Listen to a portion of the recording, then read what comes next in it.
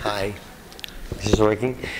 Actually, I just really want to thank you because um, I met Paco there, and I was with him for a while. Um, the best defense we have for uh, injustice is making people aware of what's really happening, and um, thank you for having been able to do that.